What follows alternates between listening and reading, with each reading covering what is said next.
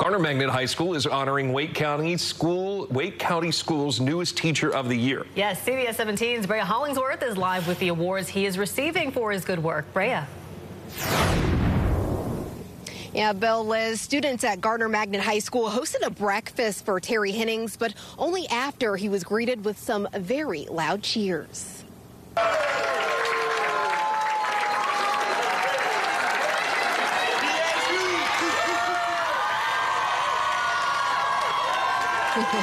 Lots of students very excited to see Hennings win the award. He's been a civic literacy and African American studies teacher at the school since 2017.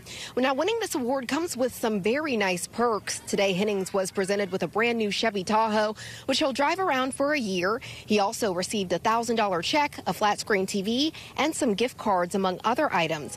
Hennings told me that he was honored to receive the award. I went into education because I wanted to make a difference, have an impact, and just to see all of these students here, um, all of my kids here, just just make my heart smile. Now, Hennings also serves as an advisor to the school's Black Student Union. Today, they were also there cheering him on. In Garner, Brea Hollingsworth, CBS 17 News.